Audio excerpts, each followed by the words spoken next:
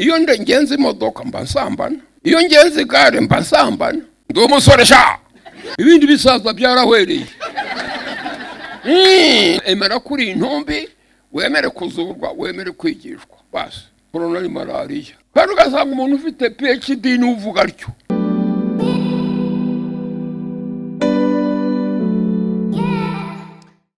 Kubasuhuza rero aho muherereye hose nkubwira ngo burya nta foto nta kiba cyabaye. Aho buri kumwe nanjye rero mimi fabiola aho tugiye kwiganirira ku buzima bw'ifoto cyangwa se ku kamaro k'ifoto ku gaciro k'ifoto. Ese wowe ujya wifotoza ryari? Ujya wifotoza habaye iki? Ujya wifotoza mu bihe bihe? Reka nkubwire yuko ifoto burya ni ingenzi.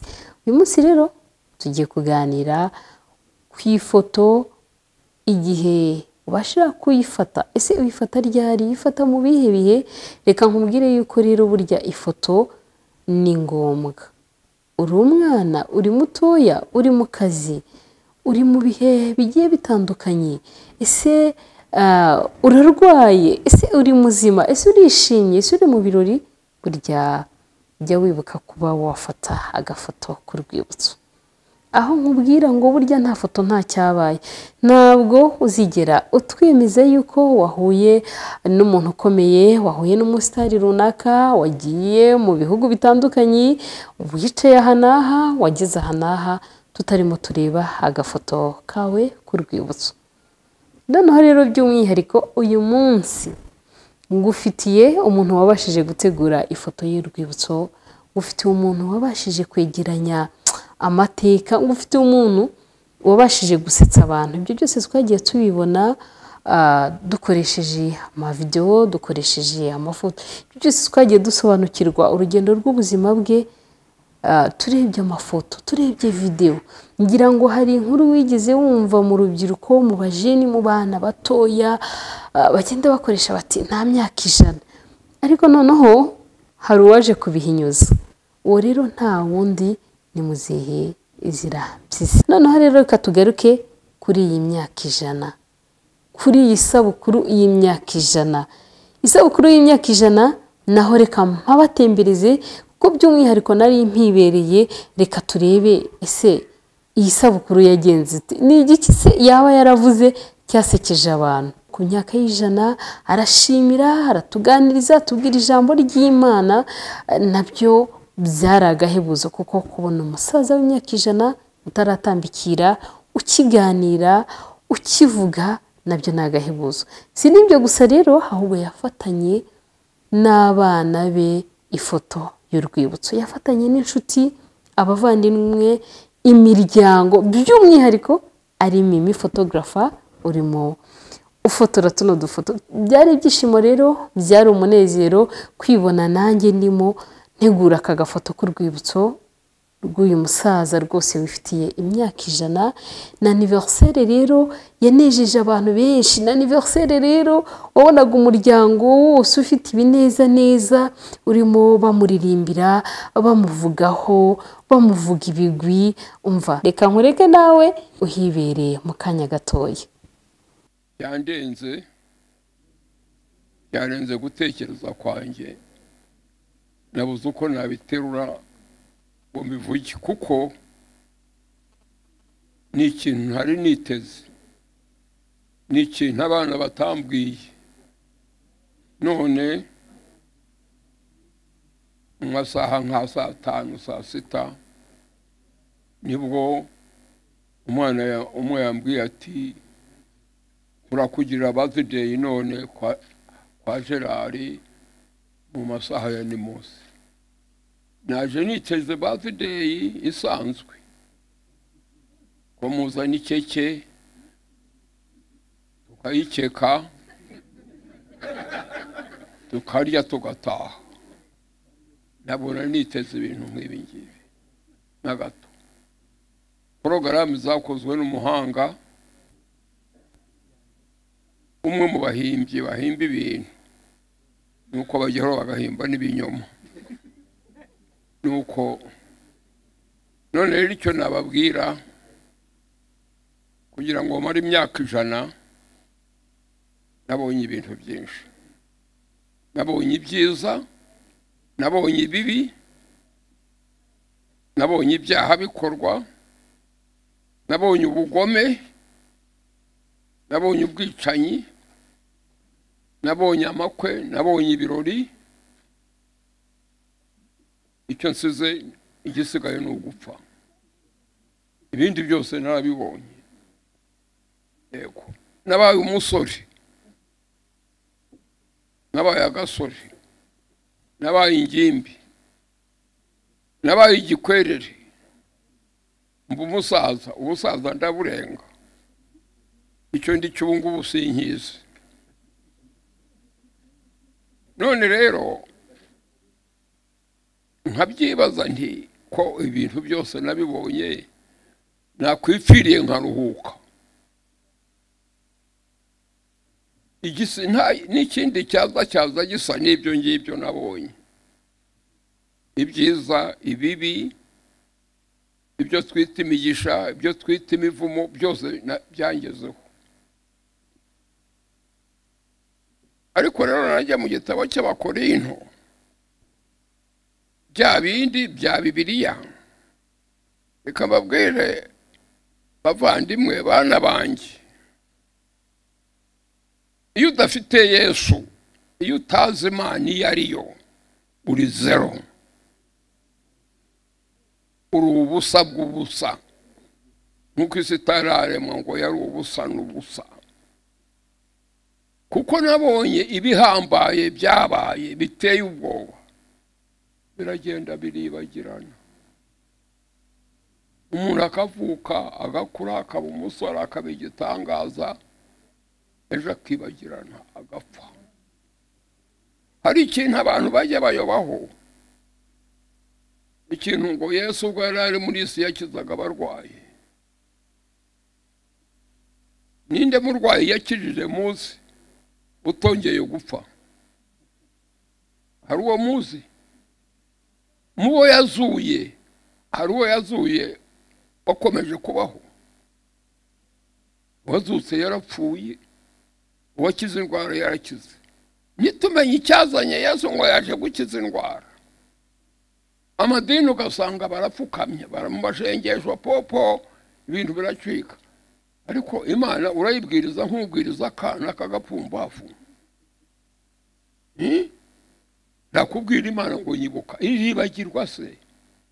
Ko ari uko utayizi? Ngo nkiriza umurwayi ntiyaje gukiza indwara. N'impuhwe ze yagiraga akagukiza ariko ejo ugapfa. Yaje kugukiza ikintu cyitwa icyaha. Yaje kuba insinzi y'icyaha. Maze rero abantu ntibamenye iyo nsinzi. Tukigisha bibiliya nabi. Aho twatangije kumenya imana. Rurema. Rwaremye byose.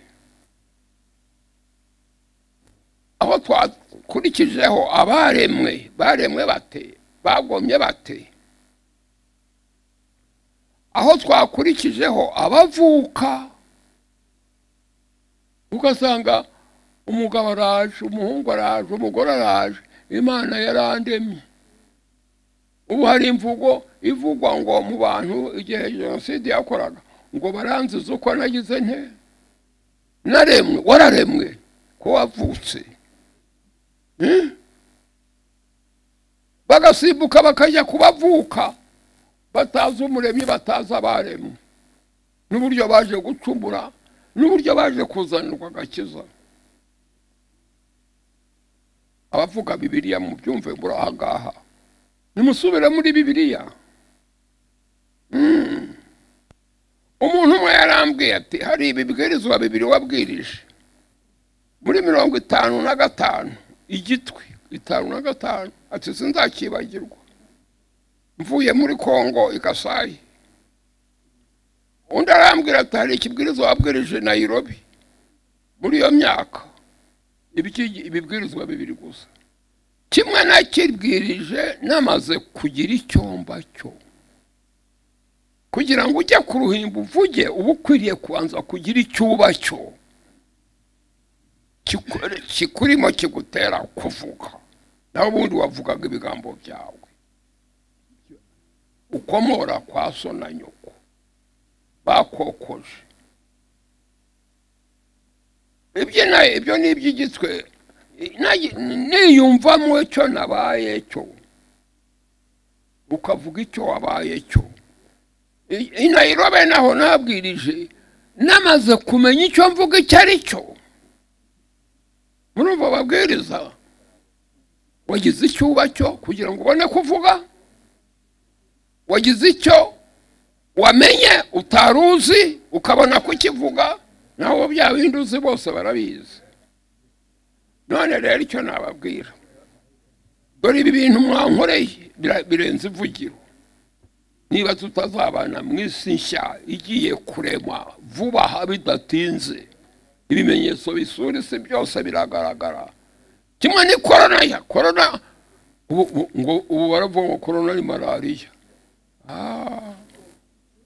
Kandi ugasanga umuntu ufite phd n'uvuga atyo Eh, murumva ba phd mu nyumva. Korona ni malariya korona ireshye ntirureshesha yo kanyagwa korona ni igikenya. Mayibo bagapfuka umuntu umukuru w'igihugu agapfuka umuntu murumva icyo kintu? Eh? mpyisi agapfuka umuntu abana be bagapfuka umuntu ababoyi be bagapfuka umuntu abakiritso bagapfuka umuntu pasitori agapfuka iryo pfuka ry'umunwa ritagira uwo risiga ukagira ngo ni igisanzwe. Ibintu bidasanzwe biraba ariko nta gutekereza. None rero imana igiye kuza irema isi nshya. Simvuga ibyo kuba mu ijuru. Mu ijuru tuzahanyura ni urugendo twongere tugaruke muri iyi sima. Imana irema isi nshya ngo ibya mbere ntibizibukwa ntibizanatekerezwa. None icyo uyu munsi mukuru umaze iki? Niba mutazambona mu isi nshya niba ntazababona. Muruzi ibintu mwankoreye nzakubure. Ariko mu isi nshya ubundi abantu bakicwa n'umubabaro. Mbabuze. Mwankoreye ibi. Nakwicwa n'umubabaro. Ariko muri yesaya mirongo itandatu na gatanu cumi na karindwi mwumve ngo ibya mbere ntibizibukwa ntibizanagira bite? Ntibizanatekerezwa. Imibiri yacu izahinduka duhabwe imibiri mishya itabora abapfuye tuzutse abashya imibiri yabo ihindurwe n'ibitekerezo byawe bihinduke. Utekereza ikibi ntikuzabaho. Ikikwibutsa kurira ntikizabaho. Ndakurahi ubwo tuba se ndumva umunyedini ubwi- ububwiriza. Kandi biri yesaya mirongo itandatu na gatanu cumi na karindwi. Ntibizibukwa ntibizatekerezwa. None rero ni bangahe biteguye ku- kuzambona mu isi nshya? Bangahe biteguye ngo nzababoneyo. Niba ntazakubona utazambona ibi mwakoze zero. Zero zero zero zero zero. Imana ibafashe bana banjye ngo tuzabane mu isi nshya. Nicyo mbabwiye naho ubundi kubashima nzabashimira mu isi nshya ninkubura nkubure nyine cyangwa umbure. Ibindi ni zero bizibagirana byose. Imana ibafashe mu izina rya yesu.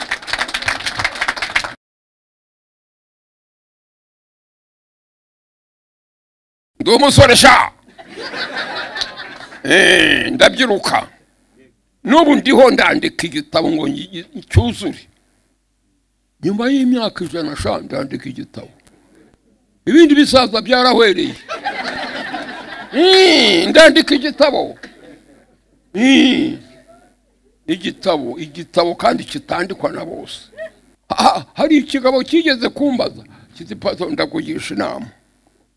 Mfite ingeso yo gutekereza gusambana iyo ngenze imodoka mba nsambana iyo mpinga mba nsambana iyo ngenze igare mba nsambana iyo nandika urwandiko mba nsambana ati iri shyano narikirane. Iyo ndyamye mba nsambana iyo ngenda mba nsambana mu ndege mba nsambana kandi uwo dusambana adahari. Ni wa ngiki cy'abasore mufite? Niyo ndwara yo gutekereza ikibi kikakugura. Ukaba ari cyo uhoramo ntabwo uzabishyira iruhande. Yesu atagusanze ngo akuzure. Kuko uri intumbi. Uri intumbi. Abavuka twese tutuvuka turi intumbi. Yesu akagusanga ku buntu akakuzura akagushyira mu ishuri rya bibiliya. Wamara kwakira yesu mu bwonko nguko kuvuka ubwa kabiri sha nguko kwizera. Ngo utizera ntibishoboka ko agira ate? Kereka ugeze yesu mu bwonko. Urubyiruko niyo nama nabaha. Yoborwa na bibiliya we ureke kwiyobora. Mm. agahungu kanjye gaherutse kuza mu nama y'abantu ibihumbi bitatu. Yeba ariko muri bazima. Abantu ibihumbi bitatu bajya inama.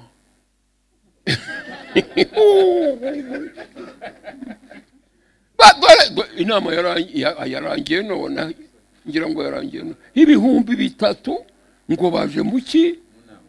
Yebaba we. Ese abavuga ni bangahe? Abatega amatwi ni bangahe? Baje kurya no kunywa no gukora amahano bagataha. Hmm, umva aho isi igeze sha abantu ibihumbi bitatu bajya inama koko iteraniro rikuru ngibyo none urubyiruko inama nabaha mwemere imana irakuzura uri emera ko uri intumbi wemere kuzurwa wemere kwigishwa basi iki bibiliya iki gisubizo ku rubyiruko igisubizo ku basaza abasaza mwemere ndabaruta ni bangahe bageze imyaka ijana muzayigeraho wapi ngiyi inama naguha jyewe ugize imyaka ijana nyumva sha experience se ni ishyano ryose insinzi ni bibiri nkabwiriza namaze kumenya icyo mvuga nkabwiriza namaze kuba cyo. Ibintu bibiri. Nkamenya icyo mvuga icyo ari cyo. Ntari gasuku ivuga ibyo nabwiwe n'umwarimu wanjye wa mbere.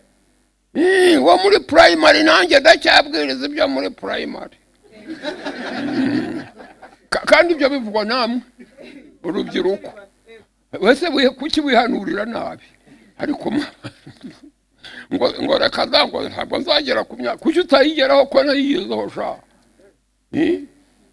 Ariko ibyana byanjye ubu barabona turi kumwe ntararwara ngo mundebe ubu narananutse ngifite akabyibuho. Abana banjye babitaga barumuna banjye. Byarashaje. Mm. ntimwahoze mubareba. Mureke nimuntege amatwi. Mubeho. Ndababwira iki? Bibiliya? Nta kindi. Mm. si imyaka ijana amaze. Tugize amahirwe nanone yo kubana na gerard mpyisi umuhungu wa pasita mpyisi. Gerard mbere y'uko yenda tuganira namwe mubanze mutubwire ku buzima bwa pasita mpyisi nk'umuhungu we. Eh, njya mbona nawe uri mu bantu bakunda gusetswa na pasita mpyisi unatubwira ubundi nk'iyo mwabaga muri mu rugo cyangwa n'iyo muri mu rugo muri kuganira biba bimeze gute? Pasita mpyisi arababwiye ati ni akazi kanyu kuba muvugana na gerard kandi mwari mumaze kuvugana na pasitori mpyisi. Eh, ni akazi kanyu. Eh, pasitori mpyisi nyine nk'umuhungu we ndi umuhungu we wa- kabiri. Eh, muzi ko mundeba nanjye ntabwo ndi umusore.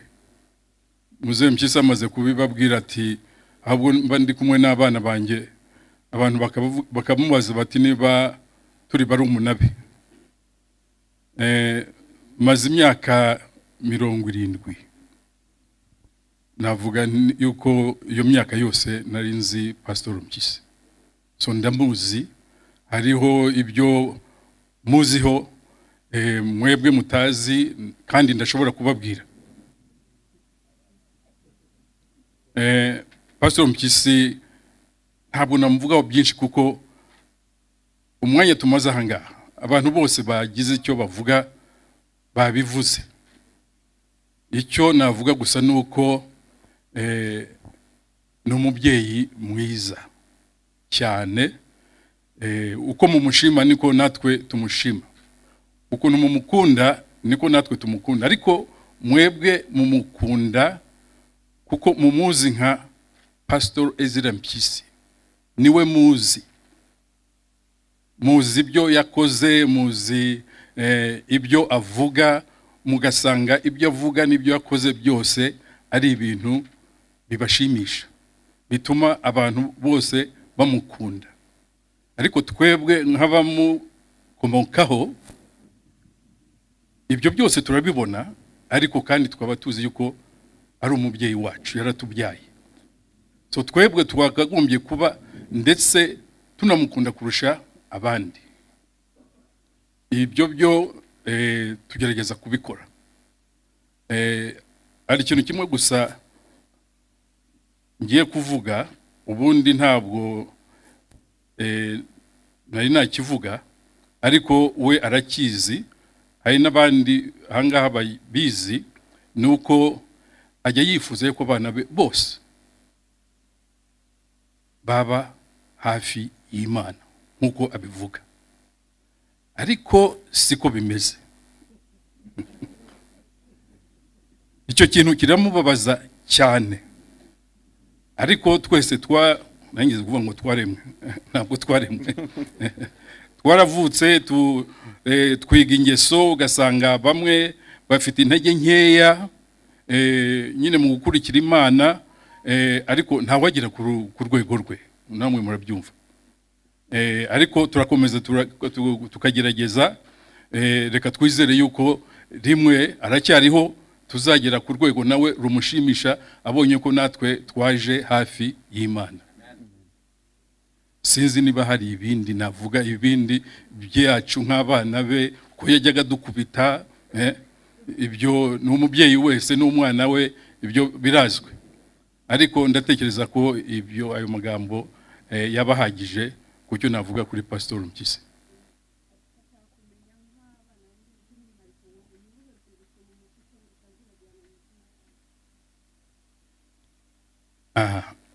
kuvuga ikintu kimwe birakomeye. Ni ibintu byinshi cyane umuntu yavuga kuri pasitori mpyisi eh, ariko icyo navuga gusa yuko tudashobora eh, yewe kumwibagirwa ni uburyo ni urukundo yari afitiye mama natwe abana be. Nanjye nashaka kubaza? Ariko ngewe ndaza gusa nk'usohoka gatoya umunsi ni munini kandi kuvuga pasita zona pisi ni izina rikomeye ndetse namwe ubwanyu murabizi ko mufite izina rikomeye ku buryo kuba guhagarara imbere umuntu akubaza rimwe na rimwe byagorana. Ariko ku bw'uyu munsi ntabwo umuntu yabura icyo abaza. Njye nashaka kugira ngo mbaze ku bijyanye mu mboni zanyu nk'amwe ukurikije uko umuryango wa pasita zona pisi wari wubakitse. Ese urwo ruhererekane mu mboni z'igihugu n'ubushishozi tukuziho mubona ku munsi nk'uyu ari ihe mesaje mwatanga ku buryo imiryango nyarwanda ikomeza kubakika bishingiye kuri uyu munsi nabo bakazaba babasha kuba baserebura imyaka ijana ariko bigenda kuri uru ruhererekane nyamuryango. Mm. hari ibintu icyo navuga kandi byavuzwe. Eh, byavuzwe kandi n'abantu benshi. Yuko ni byiza yuko umubyeyi yakorerwa ibintu nk'ibi akiriho. Akenshi abantu bavuga amagambo nk'ayo nk'ayavuzwe aha ngaha umuntu yari yigendeye yapfuye eh, bagiye kumuhamba. Ugasanga we baramuvuga ibintu byiza cyane ariko ntabwo aba abyumva. Eh, nkatwe rero eh, ni imana gusa yadushyizemo urwo rukundo rwo kuvuga rwo kuvuga yuko rwo kutubwira mbese imana iduha inzira yo kugira ngo tumukorere ibi birori akiriho abyumva. Icyo ni ikintu nabwira n'abandi bagifite ababyeyi babo eh, bariho bashoboye kujya bababwira ibintu byiza nk'ibi ngibi kubagirira iminsi mikuru nk'iyi ngiyi nabo bakiyumvira icyo abana babo babatekerezaho n'icyo inshuti zibatekerezaho cyaba ari ikintu cyiza cyane. Uh, nari mfite ikibazo kimwe. Kuri mwebwe wenda we tumubajije yahita ajya mu byanditswe byera cyane ariko kuri mwebwe mu mboni zanyu mubona ari iki cyamufashije kugeza kuri iyi myaka? Ninde wakubwiye ko jyewe ntajya muri ibyo byera cyane? Ndabizi. Noneho nimutubwire kuri mwebwe ni izihe mpanuro mwaha bato kugira ngo bakomeze babe nabo bazagere kuri iyo myaka? Ubona ari nk'ahe kabando nashaka kuvuga mu kahe kabando yitwaje kugira ngo Eh. abageze kuri iyi myaka? Mu mboni zawe nk'umuhungu we.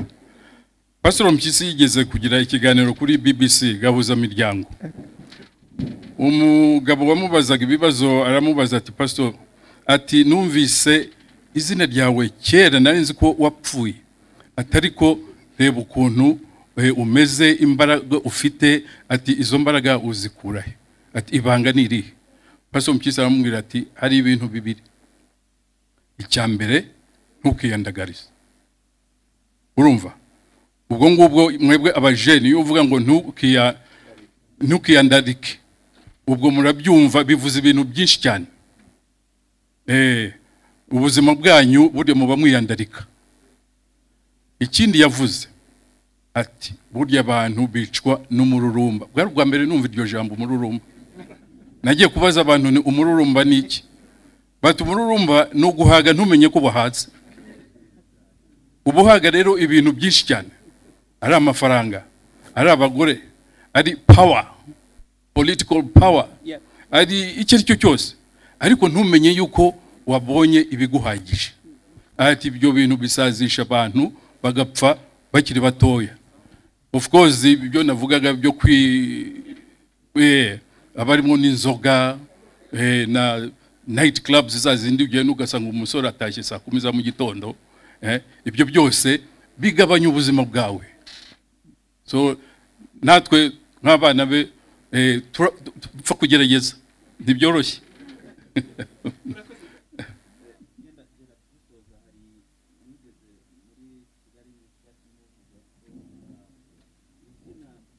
Ari izina rikomeye kandi mugomba gusigasira ariko mu byo mwatubwiye mwatubwiye ko uh, mu muryango uko yifuza ko mwegera imana atari ko atari Mm. uko we abyifuza Mm. Ah, numva muri urwo rwego rwo gusigasira izina ariko nubwo yenda urwego yifuza atari rwo murageraho nta ntacyo tuzi kibi kwa pasita mfite umwana wiyanditse cyangwa Mm. muba mwumva nko- nk'umukristo cyangwa Mm. ah, uko pasita abyifuza yifuza ko mwese mwaba pasitori yifuza ko mu- mujya mu murongo ugororotse w'idini Mm. Ah, burya umubyeyi iyo agiye hari umurage asigira abana be. Hari abasigira abana babo imari ibintu amazu. Pastor mpyisi yigeze kubwira abantu ati yewe abanjye nzabasigira ibintu bibiri. Ati yewe ikintu mfite ni ibitabo. Ati bazaze barwanire muri ibyo bitabo. Ikindi kandi ni cyo koko izina. Mwavuze mpyisi? Ubu ngubu hari aho njye njya. Haba hari impamvu yo kugira ngo mvuge uwo ndiwe. Napfa kuvuga ngo ni gerard mpyisi. Akenshi abantu batangira kundeba bati eh abenshi bavuga hari hari icyo upfana se n'uriya musaza? Hari abambaza bati ni wowe. Madamu wanjye ntabwo ari ahangaha ariko eh, yigeze kumbwira eh, tugihura arambwira ati abana ba pastor mpyisi mufite a huge responsibility. A huge responsibility yo guhora mwirinda kuzanduza iryo zina mzee wanyu yabahaye. Niba tuzabishobora kugeza ubu ngubu turagerageza. Eh, ubu ngubu birakomeye kugira ngo wumve umuntu uwo ari we wese aho ariho hose avuga nabi umwana wa pasitori mpyisi ibyo turabishimira imana ni umugisha. Eh, icyo tuzakora ni ugukomeza gusaba imana dukomeze natwe iryo zina nyine rizahore rifite ako gaciro pastor mpyisi yarihaye murakoze cyane ndabona dushoje Eh, abanyamakuru murakoze cyane. Njya mubwira abantu bari hano ko twari kumwe n'igihe com twari kumwe na kigali today twari kumwe na women tv twari kumwe na itabaza twari kumwe n'urwiririza twari kumwe n'abanyamakuru batandukanye hari n'abandika eh, na kete radiyo nabavuze. Mwakoze cyane. Hanyuma aba- abakiri hano. Hari ikintu kimwe nashakaga kuvuga. Eh, buriya pasiyanse wenda yabuze ukuntu abivuga ariko buriya yewe nagiraga ngo mbivuge kuko pasiyanse ibintu yakoze amavidewo yagiye akora menshi.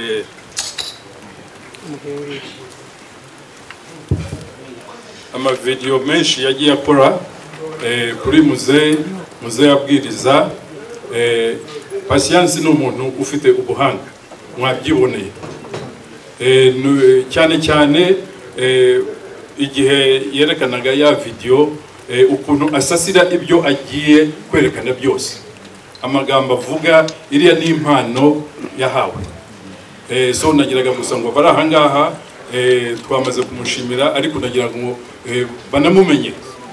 Namwe ubwanyu mushobora kuzashaka kugirira ababyeyi banyu cyangwa n'abandi ibirori nk'ibi pasiyanse ibyo bintu abifitemo ubumenyi yabibafashamo. Akorana n'undi musore witwa Desmond. Sinzi ntabwo ari ahangaha ariko pasiyanse we arahagije. Igihe mwamukenera eh, ibi bintu yazabifashamo pasiyanse warakoze cyane. Murakoze cyane. Ngira ngo rero mwabyiboneye uburyo bamuvuze ibigwi uburyo abana be bavuze kuri muzehe by'umwihariko uburyo nawe yadusekeje yagiye atubwira atubwiriza. Ariko noneho by'umwihariko nabashije kumubaza kuri aba banyamakuru bakora uyu mwuga. Itangazamakuru umuntu wese ubasha gufata kamera tukabona amajwi tukabona amashusho eh, mbese agasakaza inkuru akageza ifoto akageza inkuru kure. Twese yatugeneye mesaje reka namwe muyiyumvire. Eh, twebwe nk'abanyamakuru ba women tv twishimiye kubana nawe uyu munsi. Ariko dufite siroga ivuga ngo nta foto nta cyabaye niyo mpamvu twabonaga amafoto yawe eh, yagiye atambuka mu gihe kigiye gitandukanye. Ni na yo mpamvu uyu munsi wa none turi aha kugira ngo dufate amafoto azahora ari urwibutso. Eh, niki wavuga kuri aba bantu bakora uyu mwuga wo gufotora by'umwihariko? Abakora iki? Cyangwa umwuga wanyu ni umwuga mwiza. Kuko ni umwuga uduha amateka tuzigisha azamenywa n'abana bacu. Kandi biba uruhererekane bityo bigatuma igihugu kidapfa. Ubu mutariho igihugu cyagera igihe kibagirana amateka yacyo agapfa. Ariko mwebweho ubu murabikora bikandikwa bikabikwa. Igihugu kikazabyigisha urubyiruko rw'ejo. Urw'ejo rukwigisha urw'ejo nguko uko igihugu kibaho. None rero mugize akamaro. Ariko ugasanga ako kamaro ntikazwi ugasanga ntimuhabwa agaciro kabakwiye. Kuko musa n'abantu ahubwo muteze ibibazo. Kuko mugeraho mubaza ukuri mugashaka ukuri kandi mushaka kuzabwira abana banyu ibinyoma. Kandi ugasanga abariho muri iki gihe uko kuri ntibagushaka. Uko kuri kura- kura- kura- kurabatera ibibazo. Ngiyi si rero yacu. Urakoze cyane. Bivuze ngo nta foto nta cyaba ngira ngo rero namwe abakora uyu mwuga hari mesaje yanyu mubashije kwiyumvira. Eh, ngira ngo rero mbabwire ba bantu mujya muvuga ngo nta myaka ijana we yatubwiye yuko arimo yandika igitabo. Abandi basaza bapfuye bangana. Bivuge ngo nawe wagiza imyaka ijana cyangwa ukanayirenza ariko nkubwira ngo imyaka ufite yose igihe cyose urimo ubuzima bwose urimo nyamuneka. Ibuka gufata agafoto k'urwibutso. Ibuka kuba wategura ejo hazaza kugira ngo bizabe amateka udufatire agafoto k'urwibutso ubuzima bwose waba burimo. Reka rero mbashimire twari turi mu kiganiro nta foto nta cyabaye aho nzajya ngenda mbagezaho abantu rwose bateguye ifoto zabo zigiye zitandukanye abantu bagiye badufatira ifoto z'urwibutso abantu bazi kwifotoza abantu bazi gutegura ifoto abantu bagera mu kirori bakatwereka koko ko ifoto ariyo ya mbere. Wa muntu ugera mu kirori akabanza akifotoza. Abo bantu bose rero tuzajya tugenda tubereka ibikorwa bitegurwa ibintu byose tubasha kumenya abantu twagiye tumenya kubera amafoto kubera videwo ababikora abatunganya aya mashusho ibyo byose rero nta handi. Ni mu kiganiro nta foto nta cyabaye. Bayi bayi naho utaha nimba wifuza kubana natwe reka ukande kuri aka kazugira ubundi rero dukomeze tubane mu kiganiro nta foto nta cyabaye. Nimba ufite igitekerezo nimba nawe wifuza kutwereka urugendo rw'ubuzima bwawe urugendo rwa mama wawe rwa mukecuru rw'umuntu uwo ari we wese ubona koko yagiye ategura agafoto k'urwibutso. Reka nkubwire ko watwandikira kuri izi nimero urimo ureba hano ku kiganiro. Bebe nawe ubutaha mu kiganiro. Nta foto nta cyabaye. Nta foto nta cyabaye. Nta foto nta cyabaye. Nta foto nta cyabaye. Nta foto nta cyabaye.